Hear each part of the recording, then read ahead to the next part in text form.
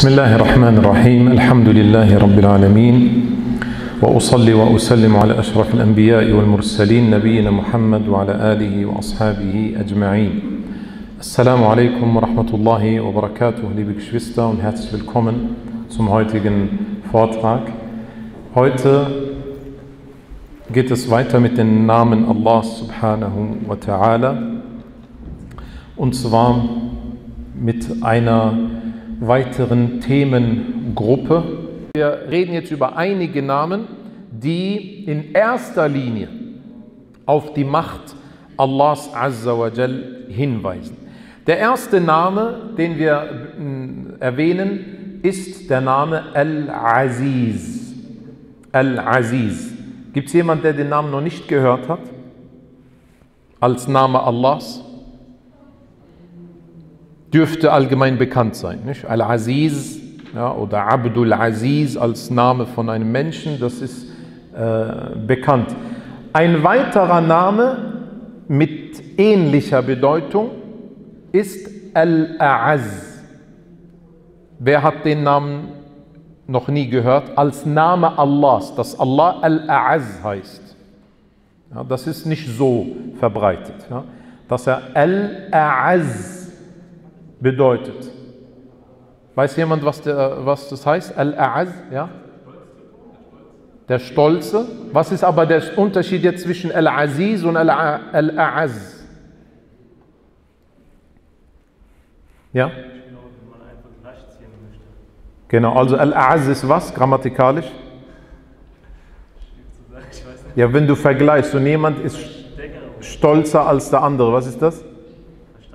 Ja, eine Steigerungsform, genau. Al-A'az ist also eine Form des Superlativs. Der stolzeste oder auch mächtigste oder erhabenste, wie wir noch sehen werden. Ja? Also das ist eine Sache, die auch bei dem Namen Al-Ali und Al-A'la, Allah Azza wa Jal heißt ja Al-Ali, der Erhabene, und Al-A'la, der Erhabenste oder Erhabenere, so rum, oder?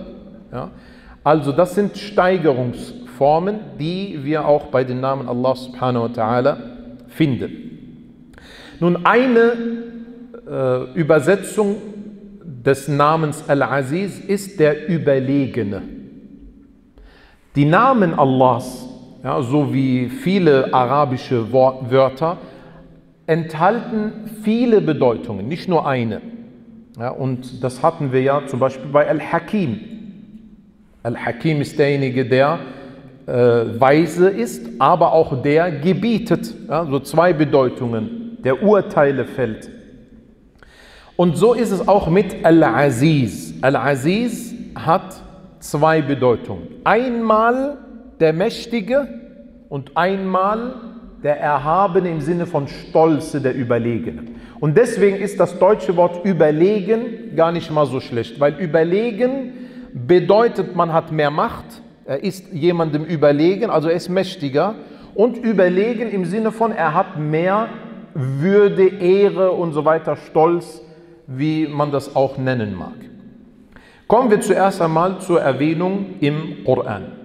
Der Name Al-Aziz wurde im Koran 92 Mal erwähnt. So sagt Allah subhanahu wa ta'ala, وَعْلَمْ أَنَّ اللَّهَ عَزِيزٌ Hakim und wisse, dass Allah überlegen und allweise ist. Und Allah sagt, Wallahu azizun dhuntiqam. Allah ist überlegend und Besitzer von Vergeltungsgewalt, also er bestraft. Ebenso sagt Allah, وَالشَّمْسُ تَجْرِي لِمُسْتَقَرٍ لَهَا ذَلِكَ تَقْدِيرُ الْعَزِيزِ الْعَلِيمِ Und die Sonne läuft zu einem für sie bestimmten Aufenthaltsort. Das ist die Anordnung des, Überlegend, des Überlegenden, Überlegenen und Allwissenden. Azizun und Alim. Und Allah Azza wa Jal sagt, Am indahum khaza'inu rahmati rabbika al-azizi al-wahhab.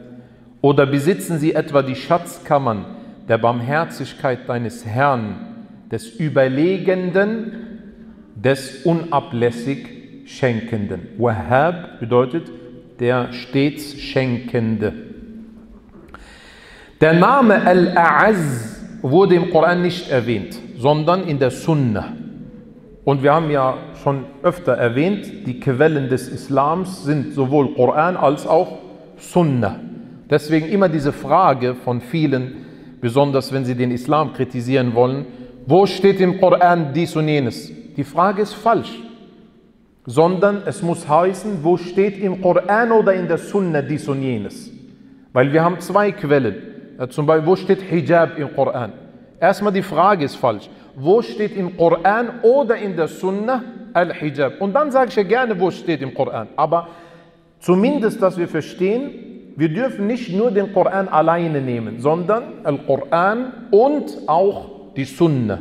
Und Allah sagt im Koran, und was der Prophet euch auffordert zu tun, das sollt ihr umsetzen. Und was er euch verbietet, das sollt ihr äh, meiden. Ja, und das ist ein äh, Beleg dafür, dass die Sunna eine Beweiskraft hat, also bindend ist. Das heißt, wenn wir heute mit der modernen Sprache reden, Al-Quran, da ist ein Link auf die Sunna. Ja, da steht im Koran, wir sollen dem Propheten sallallahu alaihi wasallam folgen.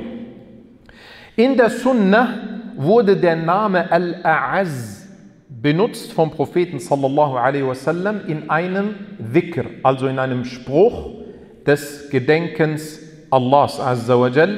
Und zwar sagte er beim Pendeln zwischen den Hügeln As-Safa und Al-Marwa, möge Allah uns die Pilgerfahrt erlauben. Zu den Bittgebeten, die man sagt, gehört Rabbighfir warham وتجاوز عما تعلم إنك أنت الأعز الأكرم Also da haben wir Al-A'az. Also mein Herr, vergib und sei gnädig. Rabbighfir warham. Vergib und sei gnädig. Und sehe über unsere Sünden hinweg. Du bist der überlegenste und großzügigste. Al-A'az, der überlegenste, also Superlativ. Und Al-Akram, der großzügigste. Was heißt nun Al-Aziz oder auch Al-Az? Beides wird vom Verb abgeleitet Azza. Azza ist das Verb und was heißt das auf Arabisch? Das hat mehrere Bedeutungen. Zum einen bedeutet das überwältigen, also die Macht über jemanden haben. Du überwältigst, also du besiegst. Zum anderen kräftigen, also im Sinne von bestätigen und auch selten sein. Etwas, was selten ist, bezeichnen wir als Aziz. Das bedeutet, wenn ich sage, guter Charakter ist Aziz. Was heißt das? Also der gute Charakter ist selten. Du findest selten jemand mit gutem Charakter. Möge Allah uns erziehen. Also wenn im Arabischen, wenn ich sage, zum Beispiel die Wahrhaftigkeit, As-Sidqu Aziz, Sidq ist die Wahrhaftigkeit. Wenn ich sage As-Sidqu Aziz, was heißt das? Es ist selten. Ja, wer, wer ist heutzutage noch wahrhaftig? Möge Allah uns zu den Wahrhaftigen zählen. Also Aziz hat auch die Bedeutung selten. Ein Beispiel für die erste Bedeutung also was, dass es eben im Sinne von überwältigen ist, ist die Aussage Allahs, إن هذا أخي له تسع وتسعون نعجة ولي نعجة واحدة فقال أكفلنيها وعزني في الخطاب Dieser da, mein Bruder, hat 99 weibliche Schafe, ich aber nur ein einziges Schaf. Dann sagte er, vertraue es mir an, gib mir dein Schaf, vertraue es mir an. Und er überwand, also er überwältigte mich in der Rede. Wa'azzani. Azza, da haben wir das Verb. Was heißt das? Er hat mich überwältigt. Worum geht es hier denn? Was ist das für eine Geschichte, ja?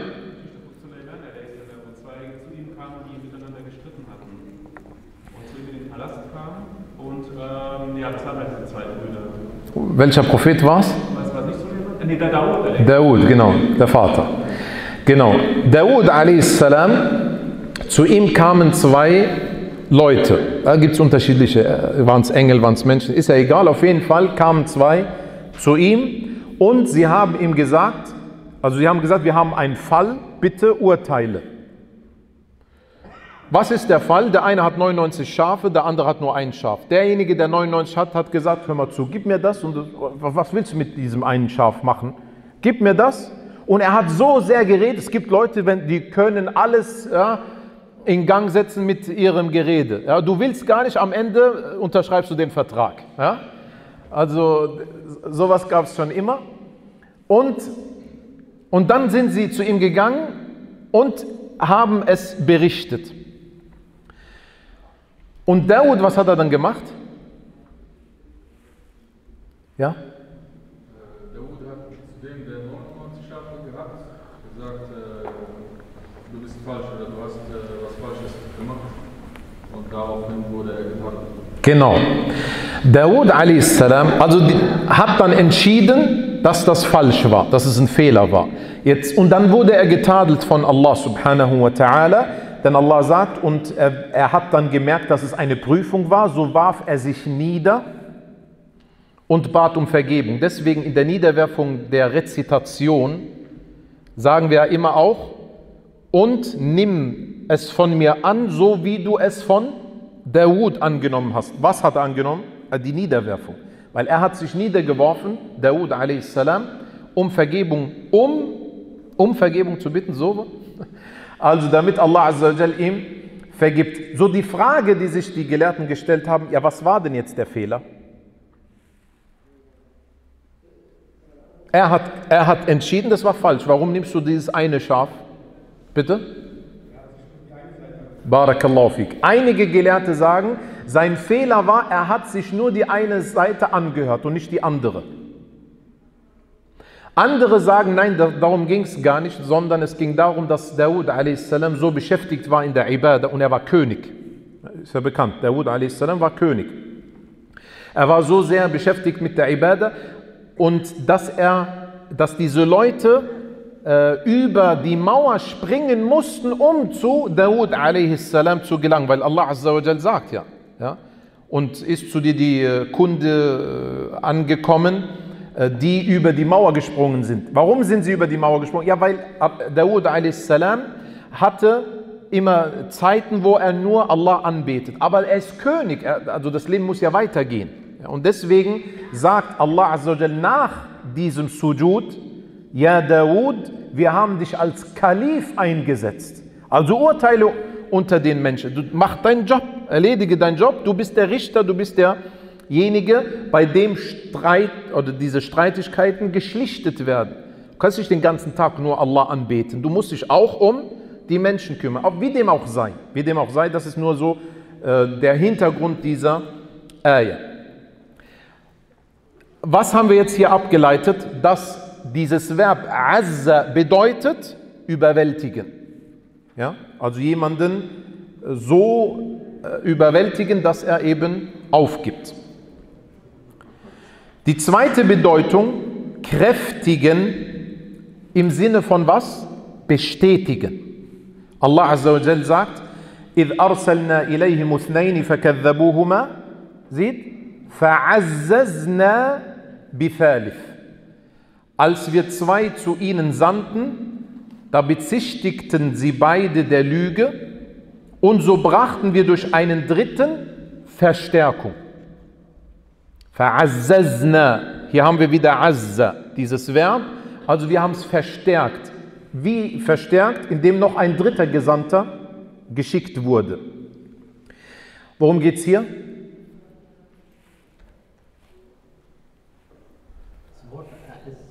Ja, also ich meine, was ist die Geschichte hier? Wer, wer wurde geschickt? Ja?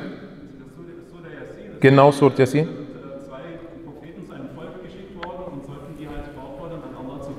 Genau. Genau. Dritte geschickt. Genau. Das heißt, es gab ein Volk, Allah Azzawajal schickte zu ihnen entweder Propheten oder sie lebten in der Zeit von Isa a.s. und Isa hat einige seiner Gefährten dorthin geschickt. Also entweder es waren Propheten, die hingegangen sind, oder es waren Entsandte des Propheten Isa a.s. Also diese zwei Ansichten gibt es bei den Tafsir-Gelehrten. Wie dem auch sei, sie wurden eben äh, danach umgebracht ja, und äh, man hat nicht an sie geglaubt und Allah subhanahu wa ta'ala vernichtete dann dieses Volk. Also der springende Punkt ist hier was?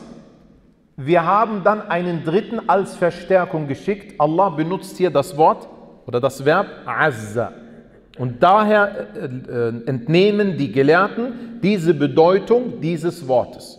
Und so nebenbei, Al-Quran ist eines der wichtigsten, wenn nicht das wichtigste, die wichtigste Quelle überhaupt für die Bedeutungen der arabischen Wörter.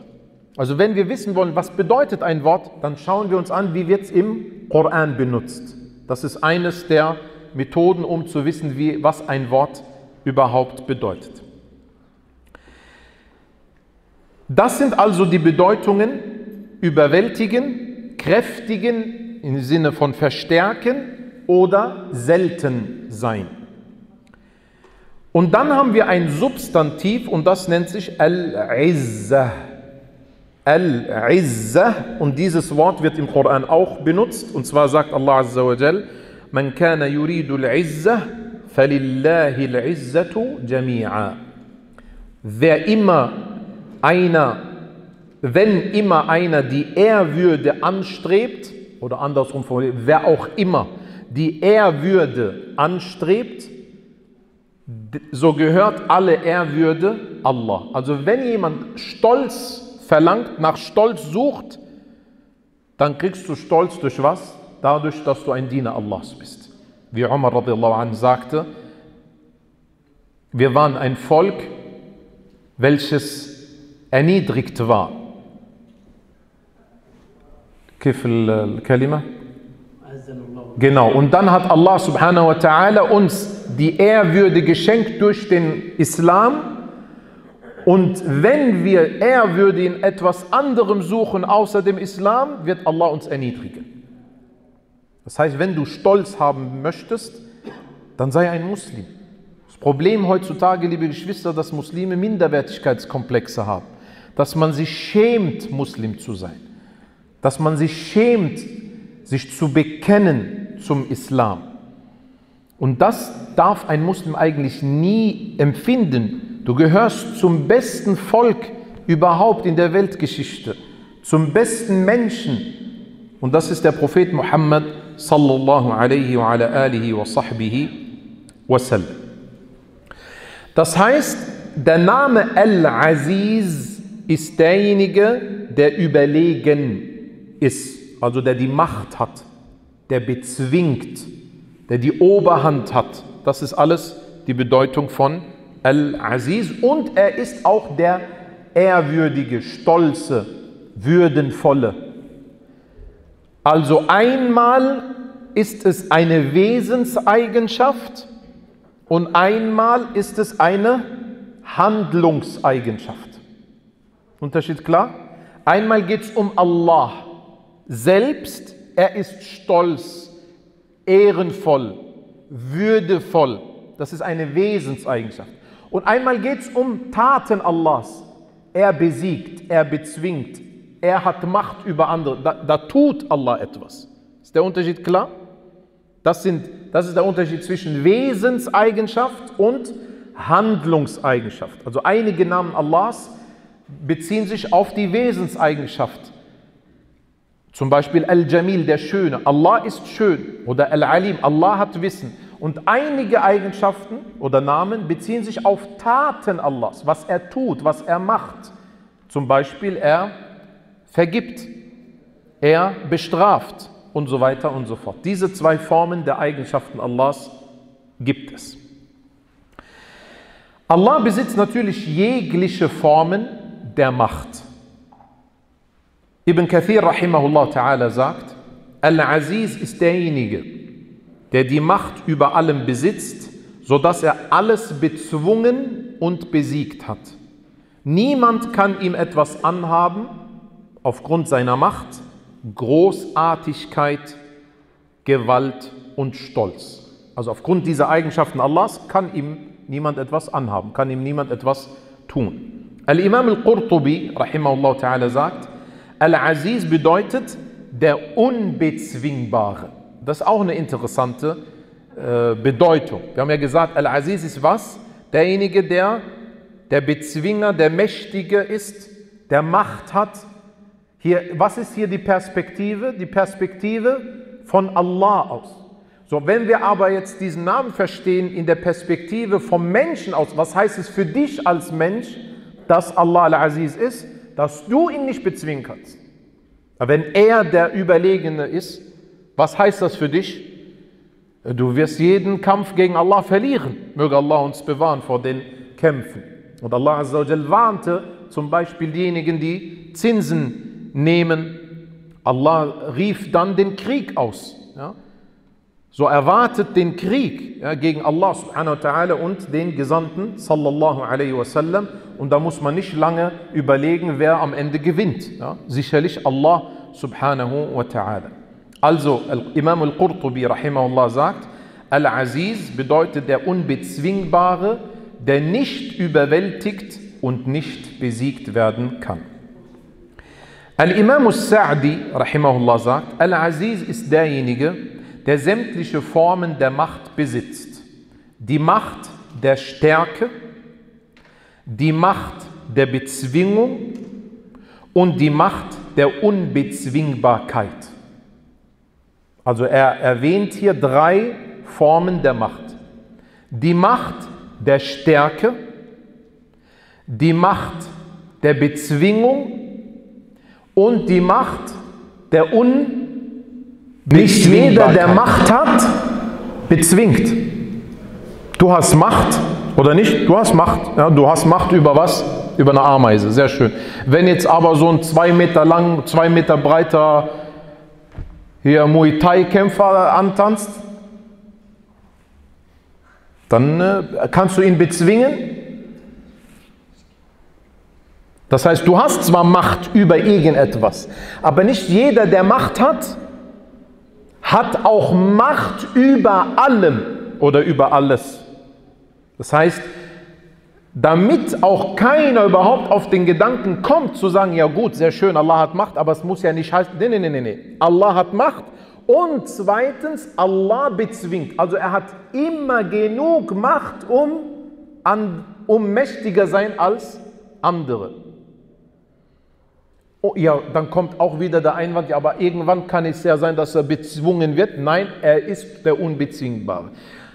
Das sehen wir sehr oft bei Gelehrten, dass sie immer jegliche Optionen erwähnen, damit auch keiner auf irgendwelche faulen Gedanken kommt. Ja?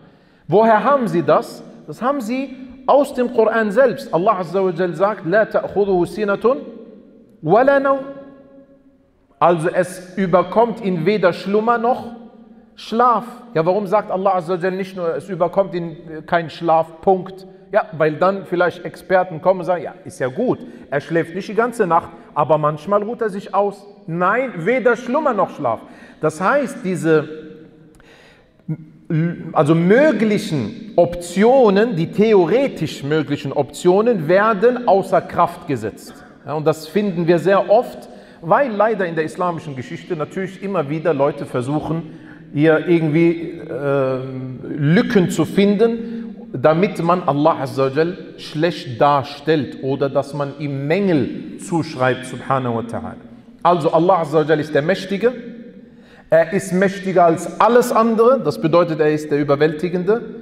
Und das bedeutet was? Das heißt, niemand kann ihn besiegen, subhanahu wa ta'ala.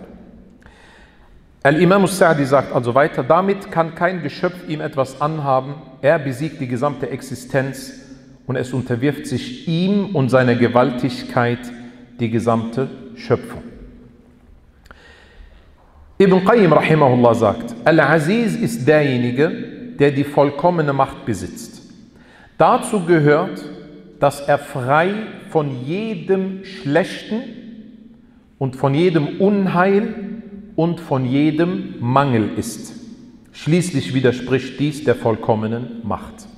Das ist jetzt wieder ein weiterer Einblick in diesem Namen. Also wenn wir von Al-Aziz reden, dass er der Mächtige ist, was ist die implizite Bedeutung, dass er vollkommen ist, sonst wäre er nicht der Mächtige. Ja, wenn er nun vollkommen ist, bedeutet das was? Er hat keine Mängel, er hat keine Fehler. Subhanahu wa ta'ala. Diese Bedeutungen sind wichtig für unser alltägliches Leben.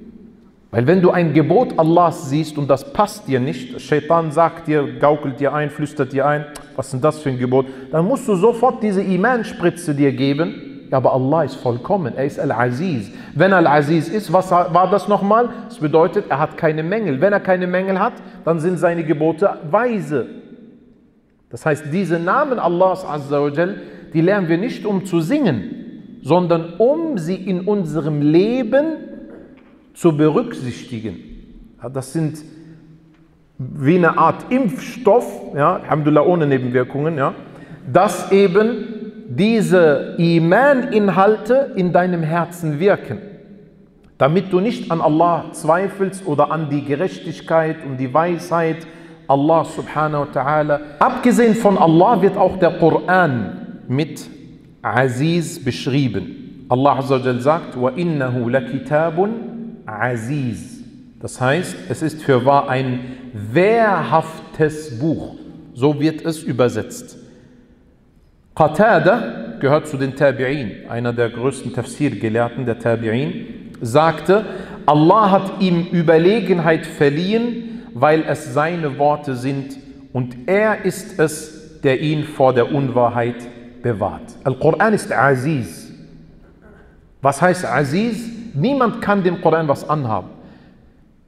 Wir, wir reden hier über 1400 Jahre und der Koran wird genauso rezitiert wie zur Zeit des Propheten. Das ist die einzige Sprache, liebe Geschwister, die so lange überlebt.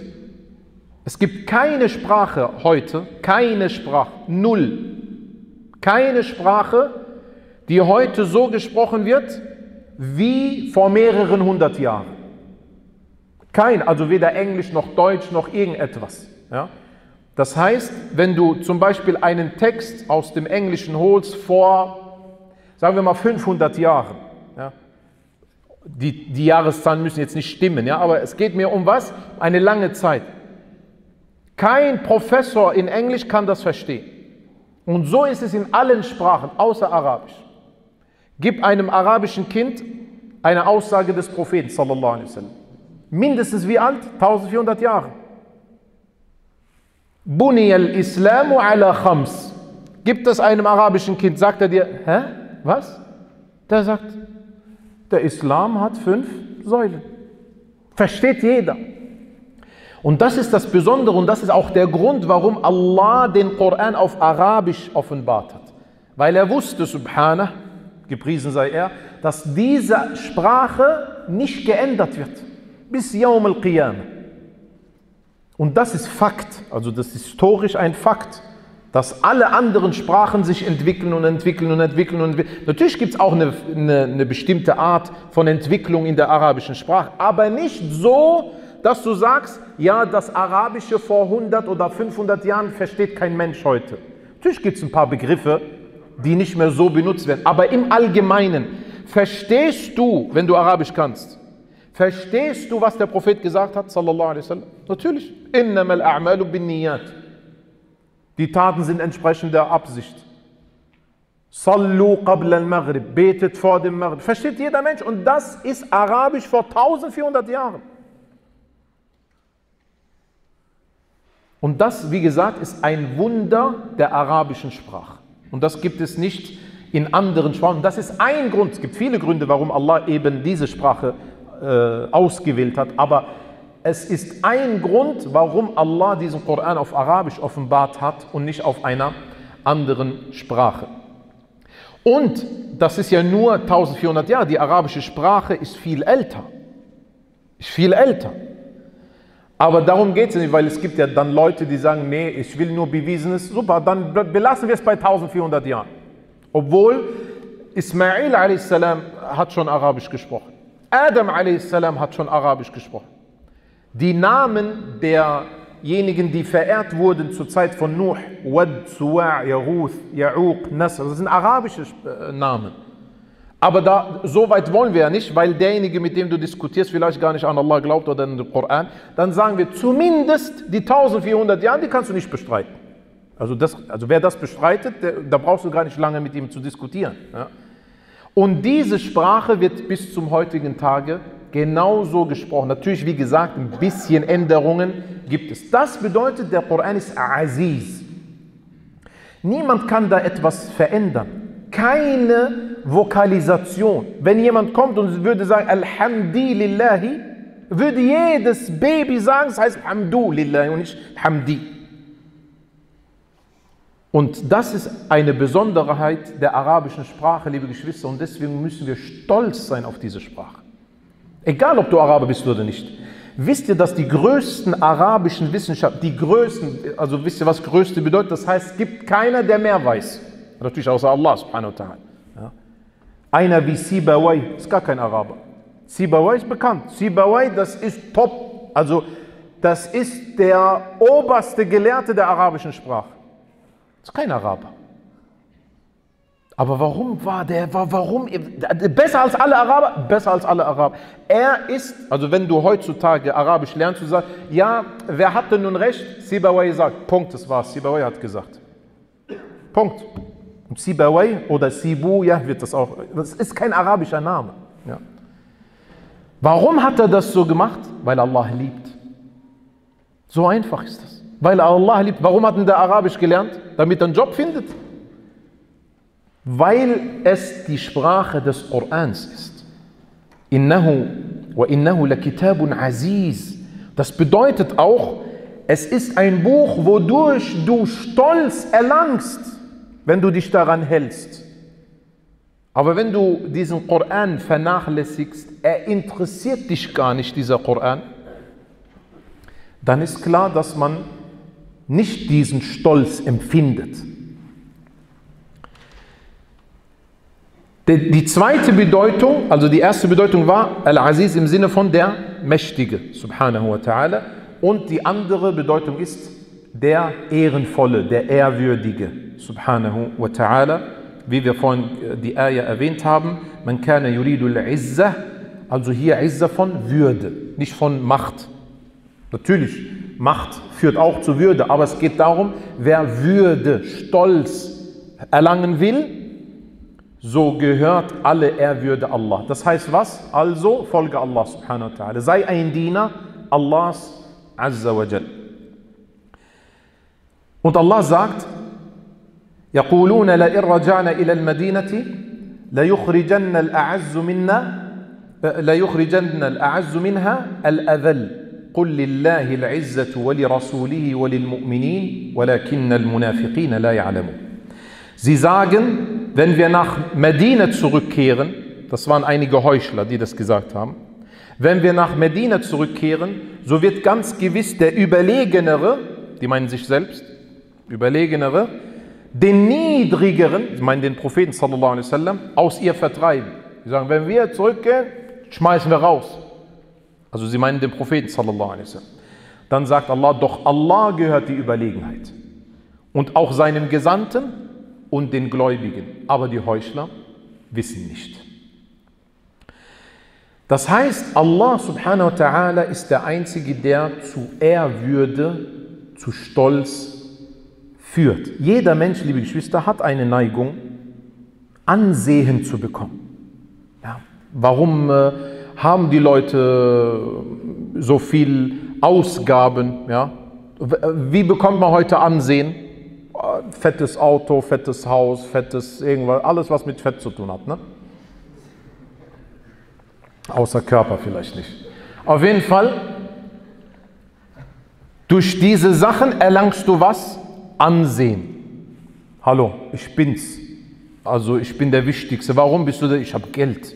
Zum Beispiel durch Geld oder durch Connections. Junge, äh, ich, äh, ich bin per Du mit äh, dem König und dem Kaiser und dem Sultan und dem was weiß ich was. Ja? Das heißt, durch Menschen. Entweder du hast Ansehen, Stellung, Anerkennung, Stolz, nenn es wie du möchtest. Durch Geld oder durch was? Durch Verhältnisse oder Connections eben. Und die engsten Beziehungen, die du haben kannst, die engsten Menschen, die dir beistehen, sind wer?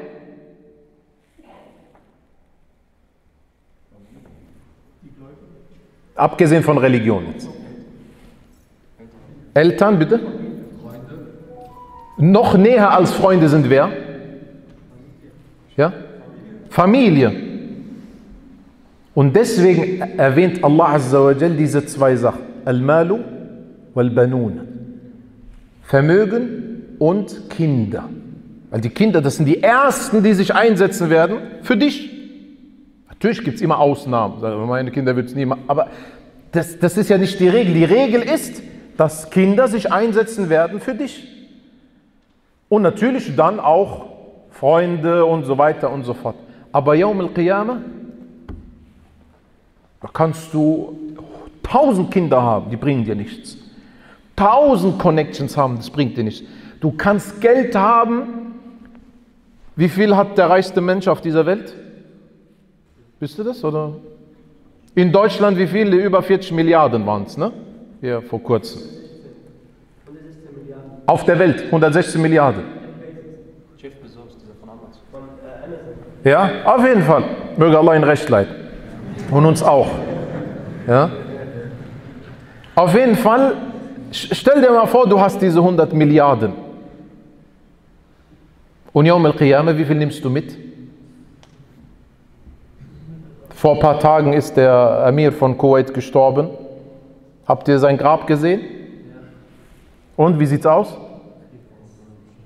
Sand. War's, das, das war's, das ist dein Ende. Du kannst der König sein auf dieser Welt, du kannst so viel Geld haben auf dieser Welt. Am Ende hast du eine Grube, die so lang ist und so breit ist wie dein Körper. Mehr nicht. Du nimmst nichts mit außer deine Taten. Und das hat der Rasul sallallahu alaihi wasallam verstanden, wie, wir vorhin, wie ich vorhin gesagt habe in der Khutbah, als Umar radiallahu anh gesagt hat, warum, warum schläfst du auf diese Hasir? Kennt ihr Al-Hasir? Also in, in den arabischen Ländern, die, also jetzt ist es aus Plastik, aber vorher war das diese, ich weiß gar nicht, wie es auf Deutsch heißt. Ja, aber, aber nee, das war Leaf, Palmfaser, aber diese Teppiche, die aus, so wie Ästen sind und so. Stroh, Barakallahu fik, Stroh. Schon mal darauf gebetet? Junge, Junge, Junge, Junge, Junge. Junge, da kriegst du eine Hornhaut. Das ist wirklich so. Alle haben eine Hornhaut. Heutzutage ist Plastik oder Teppich, mashallah, schläft man ein während dem Sujud, weil es so gemütlich ist. Ja? Dann schlaf mal auf so Strohdingens da. Weil wenn das geflechtet wird, dann eins hoch, dann wieder runter und verstehst du? Das drückt voll. Und der Prophet sallallahu alaihi wasallam schläft auf sowas. Und der König von Persien und, von, und, die, und der Kaiser von Rom in Saus und Braus. Und da sagt Rasul sallallahu alaihi also diese, dieser Wort, das sind deine Sorgen, also darum geht es dir. Rasul sallallahu alaihi hat überhaupt nicht daran gedacht. Schönes Bett, das heißt nicht, dass Haram ist. Du kannst dein Wasserbett benutzen oder was, Allahu alam, was es ist, ja. Das heißt nicht, dass es haram ist, sondern es geht darum, was ist, wenn ich es nicht habe? Ist es ein Weltuntergang? Einige für die, wenn die nicht ein äh, gewaltiges Auto haben oder äh, Kleidung, wenn das nicht eine Marke ist, Weltuntergang. Ich kann so nicht raus. Khair, inshallah, bist du nackt? Nein, aber da ist nicht die Marke da fünf Kilometer drauf auf, auf meinem T-Shirt oder Allahu an. Ja? Das heißt, diese, diese Verhältnisse sind ja kaputt bei uns. Und genau darum geht es. Was steckt in deinem Herzen? Die Liebe zu Allah oder die Liebe zur Dunya? Möge Allah Azza wa Jal aus unseren Herzen sämtliche weltliche Angelegenheiten austreiben. Und möge Allah unser Herz mit der Sehnsucht nach Allah füllen. Allah Azza wa Jal sagt, قل اللهم مالك الملك تؤتي الملك من تشاء وتنزع الملك ممن تشاء وتعز من تشاء وتذل من تشاء بيدك الخير إنك على كل شيء قدير Sag, O Allah, Herr der Herrschaft. Du gibst die Herrschaft, wem du willst. Und du entziehst die Herrschaft, wem du willst. Du machst mächtig oder stolz, wen du willst. Und du erniedrigst, wen du willst. In deiner Hand ist all das Gute. Gewiss, du hast zu allem die Macht. Und das sehen wir doch. Leute, die Macht hatten, haben keine Macht, wurden gestürzt. Leute, die keine Macht hatten, haben Macht. Es ändert sich, so ist die Geschichte. Ja, so ist die Weltgeschichte. Und deswegen diese Dunya, deswegen darfst du nie traurig sein. Egal was. Nur bei einer Sache musst du traurig sein, wenn du deine Religion verlierst. Wenn du dein Iman verlierst. Wenn du Gesundheit verlierst, im Paradies bist du wieder gesund. Wenn du dein Geld verlierst, im Paradies wirst du so viel haben. Wenn du deine Umgebung verlierst, im Paradies wirst du noch bessere Begleitung haben. Nur eins findest du im Paradies nicht, wenn du in der Dunya deine Religion verlierst. Dein Gebet, dein, deine Beziehung zu Allah subhanahu wa ta'ala, das kann man nicht mehr nachholen, Yawm al-Qiyamah. Alles andere kriegst du noch besser. Ja, das haben wir auch sehr oft erwähnt. Warum gibt es Leute, die nicht mehr beten oder nicht mehr so sehr religiös sind? Weil sie wollen ihren Spaß in der Dunya. Ja, man will halt Spaß, man will raus und so weiter im Haram jetzt. Ja. ja, warte doch ein paar Jahre und dann kannst du alles haben, was du willst im Paradies. Es ist nicht so, dass wir nicht Party machen wollen. Nur nicht heute. Ah, Im Paradies, inshallah ta'ala, dann geht's ab ja, dann kannst du machen, was du willst. Aber dafür bezahlst du Eintritt fünf. Fünf was? Fünf Gebete kostet es. Es kostet fünf Gebete Eintritt, ja, Vorkasse. Es gibt keine Abendkasse, wie man das nennt. Ja. Also jetzt musst du bezahlen und nicht erst später. Aber wenn du jetzt zahlst, dann hört dieser Genuss nicht mehr auf, Yawm al-Qiyamah. Mit dem Propheten, sallallahu alaihi wasallam, den Sahaba. Möge Allah uns den Eintritt ins Paradies gewähren. Umar das hatte ich ja vorhin erwähnt, sagte, wir sind ein Volk, welches Allah durch den Islam zur Würde brachte. Sobald wir die Würde in etwas anderes suchen außer dem Islam, wird er uns erniedrigen. Und das ist wirklich etwas Schlimmes, wenn man versucht, Anerkennung oder Würde zu bekommen, indem man seine Religion verkauft Ja, indem man eben nicht mehr so islamisch lebt, damit was? Damit man anerkennt, äh, Anerkennung bekommt. Allah Azza wa Jal sagt, وَلَا يَنْصُرَنَّ اللَّهُ مَنْ يَنْصُرُهُ إِنَّ اللَّهَ لَقَوِيٌّ عَزِيزٌ Und Allah wird ganz gewiss diejenigen helfen und unterstützen, die ihm helfen. Wie, wie willst du Allah helfen? Braucht Allah deine Hilfe? Was soll denn das heißen, die Allah helfen? Ja? Ja, was heißt das?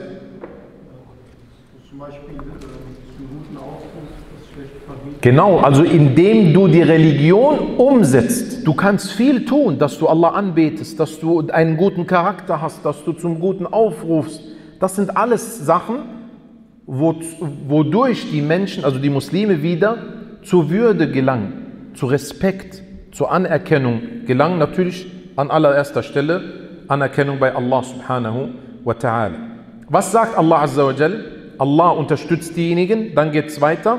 الذين إن مكناهم في الأرض أقاموا الصلاة وآتوا الزكاة وأمروا بالمعروف ونهوا عن المنكر ولله عاقبة الأمور Also Allah wird ganz gewiss denjenigen helfen, die ihm helfen. Allah ist wahrlich stark und überlegen. Und jetzt kommen die Eigenschaften. Ihnen wird Allah helfen. Wem?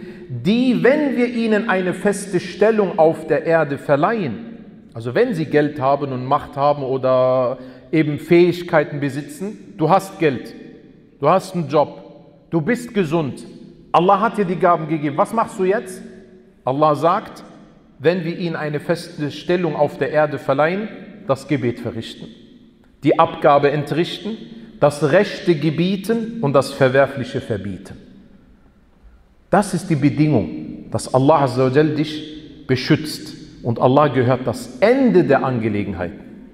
Dieser, dieser Schluss der Erde, der Ayah, ist wieder ein Vitamin für den Menschen, dass man die Hoffnung nicht aufgibt. Allah gehört das Ende.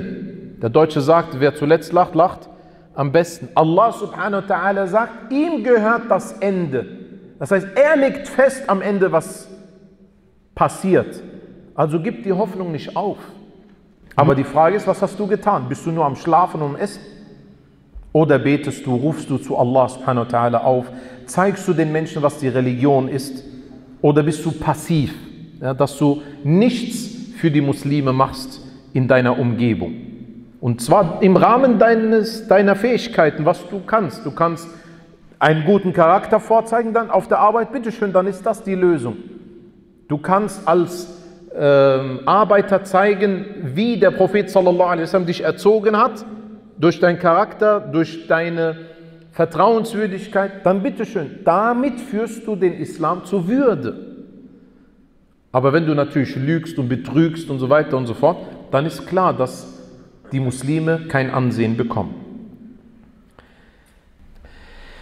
Zu den Taten, die der Prophet wasallam erwähnte, womit man von Allah Ehre und Würde bekommt, gehört auch die Demut.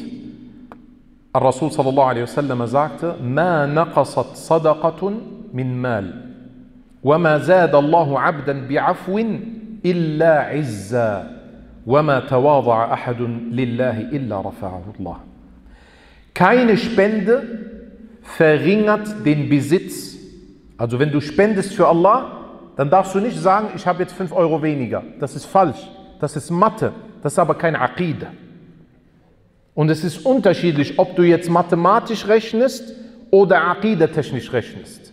Weil 1 Euro, also 10 Euro minus 1 Euro ist in Mathe wie viel? 9. Und in der Aqide ist wie viel? Barakallahu fik, vielleicht sogar 700, 7000. Ja, da, aber ich habe so viel gespendet, am Ende hatte ich immer nicht so mehr.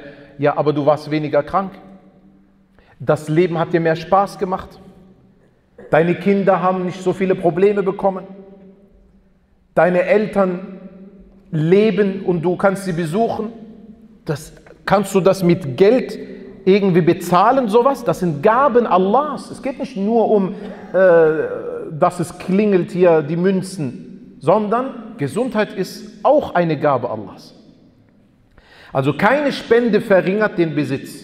Und Allah wird einem Diener mit der Verzeihung nur noch mehr Würde verleihen.